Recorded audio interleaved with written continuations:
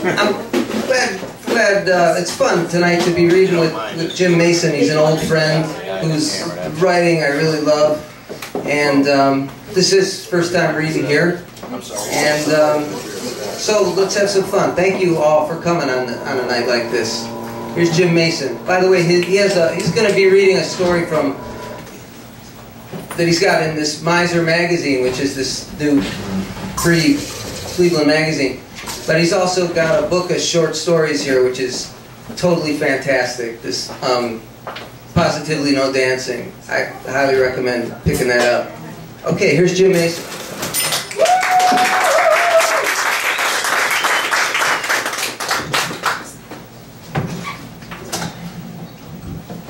All right, thank you all for coming. Thank you, Mike, for inviting me. I've known Mike since the 80s in Brooklyn. He's not only a good friend, but he's kind of like a mentor to me in writing. It's weird to have a mentor who's only like 10 years older than you, but I'm, I'm older than. Uh, We have to, we actually, we're both so old that we have to share these reading glasses. Use reading glasses, but I'm so old that I forgot mine. So I have to wear Jim.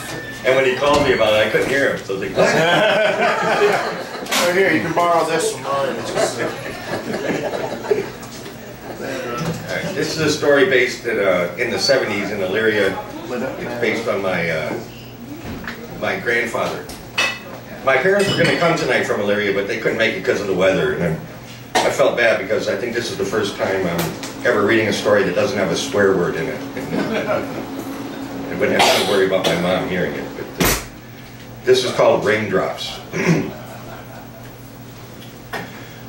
Things my grandpa built. Grandfather clocks. The screen at the drive-in. Ray Delapina's treehouse. The raindrops at the mall. There were three grandfather clocks, one for each house in our family. His house, my uncle's farm, and my house. Each one was different. I liked the one in his house best. It had a sun with a face that would move across the top as the day went on, and a moon that would follow with the night. The drive-in screen he built was for everyone in town. He worked with a small crew. While they were building it, his friend fell off and died. My grandpa never liked to go up high after that. He did it because he had to, but he didn't have to like it. Ray Delapina was one of the rich kids in town. He lived on Washington Avenue, where we'd go at night on our bikes and spit in the mailboxes that sat at the end of their long driveways. Ray Delapina's dad was a doctor who hired my grandpa to build a treehouse for his son. It had two rooms and electricity and carpeting and a real ladder leading up, not just wood slats pounded into bark. Grandpa told me once I could come along with him and see it. He was proud of it. He was proud to be working for a doctor. My grandpa had come from Hungary and didn't want anyone to know it. He told my mom to pronounce her name differently so no one would know that she was a hunky. I didn't want to see some rich kid's treehouse. I didn't want my grandpa even going over there. I didn't even like Ray Delapena, whoever he was. In our neighborhood, we built a fort in Craig Limpak's backyard out of old refrigerator boxes we found behind Stewart's appliances. There was one room, one room at the back that Craig said you couldn't go into unless you wrote on the wall the initials of three girls you wanted to kiss. My brother stayed in the front. He wouldn't do it. I had no problem with it. I wrote CF, Carol Fada. AU, Amy Udovich. SC, Sharon Caputo. I was still mad at Grandpa about the treehouse. I didn't want to talk to him. But when he came over one day and told me told my parents about the rioting downtown, I came into the room to listen. A white cop had shot a colored kid, and now the colored people were in the streets downtown, breaking windows and setting fires. It was bad enough that, I mean, I'm sorry, it was bad enough that when we turned on the evening news with Walter Cronkite, even he was saying the name of our town. Elyria, Ohio. That was my Walter Cronkite. I'm sure you That's what then. My mother told Grandpa he should come stay with us since he lived in the colored part of town. But he said he wasn't going to get chased out of his own home, and he wasn't scared anyway. The people on our street were scared though. That night I sat on my front porch with my brother and friends. We all had baseball bats and sticks. Buddy Mills had an eight ball from a pool table, which he was going to throw at the colored people's heads if they tried to come into our neighborhood to riot. He said an eight ball could kill a man. I held a baseball bat, even though my heart wasn't really in it. My best friend Kim Diedrich had a father who ran a store on the colored side of Middle Avenue, which was the street that ran down the middle of downtown. He was the only white shopkeeper whose store hadn't been trashed during the rioting.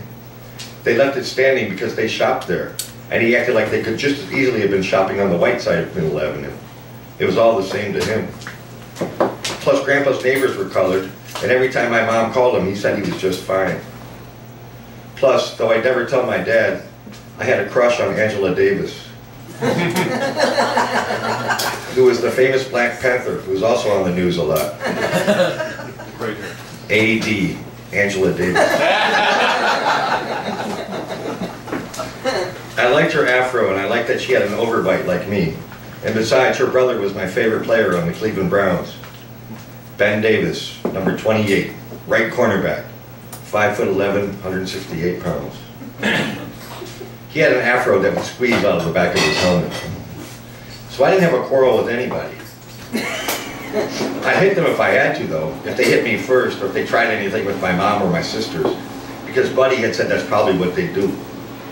They mostly just stayed downtown, though, carrying on. That's what the grown-ups called it each night, as they gathered together on their front lawns, hugging themselves and looking down the street, listening for the sound of the mob. One other summer, we had heard the Hells Angels were coming to our town. They were going to ride down every street and attack every other house like a tornado. I would count horses. I would count houses from the corner. I hope they.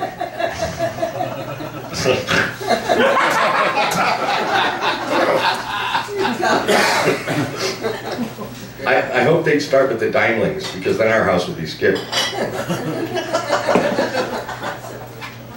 Maybe the rioters would follow the same plan. If so, I hope they start with the Dimlings too.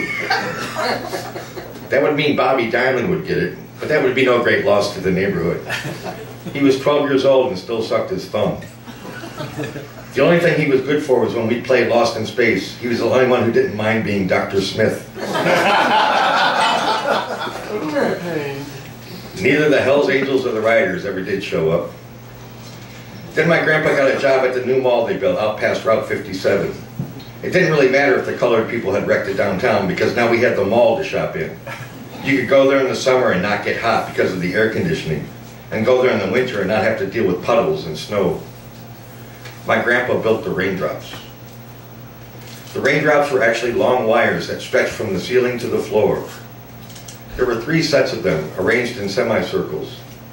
Each set had about 50 wires. On each wire there were drops of oil which slid slowly down, down to the ground, disappearing behind artificial leaves and rocks. Colored lights were hidden there, shining up. The lights would reflect in the beads of oil, so each bead was a world of color, blues and oranges and yellows and reds. It was like you were in the jungle and it was raining light in slow motion. People would come by and ooh and ah. We'd never seen anything like it. One day my mom took my brother and me shopping at Robert Hall. It was the worst store at the mall. It was nothing but rows and rows of clothes. I could never breathe in there. Something about all those clothes sucked the air out of the room. I tell my mom, anything, anything, that's fine, just to get out of there. Afterwards, she took us to look at the raindrops. My brother sat on a bench. He didn't care about the raindrops. Robert Hall had taken everything out of him, and he just wanted to get a frozen Coke at Woolworths. The raindrops were blocked off from the people by a railing. Grandpa said if you touched the oil, you would get burned. The raindrops would eat away your fingers. So I just looked up and down at the colors. Other people came and looked too. I watched their faces, proud of my grandpa. Then I heard someone yell, Lydia Wade, get over here. I looked over and saw a colored family, a husband and wife and two boys.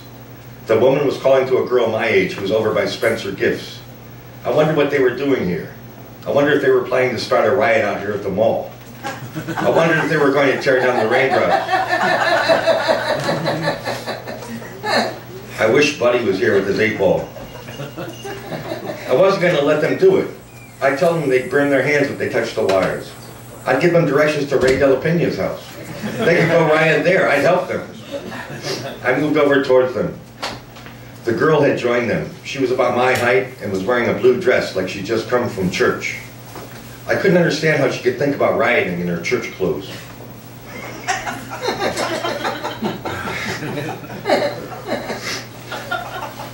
The family was full strength now, and I had to say something. The girl was right next to me. I wanted to grab her and tell her to keep her hands off. Who did she think she was? You couldn't just go rioting everywhere you please. She had a small afro. Her skin was dark and smooth like a pebble in a stream. Her name was Lydia. My grandpa built that, I said to her. She didn't look at me. She was looking up into the lights raining down in slow motion. She was smiling. Her whole family was looking up the same way. They weren't going anywhere. Your grandpa really built that? Lydia asked me, still looking up. Yes, he did, I said. It's pretty, she said. LW. Lydia waved.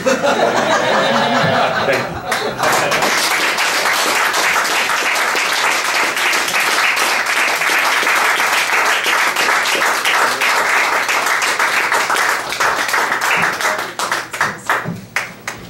Everybody want to get a drink for a few minutes? Take a break?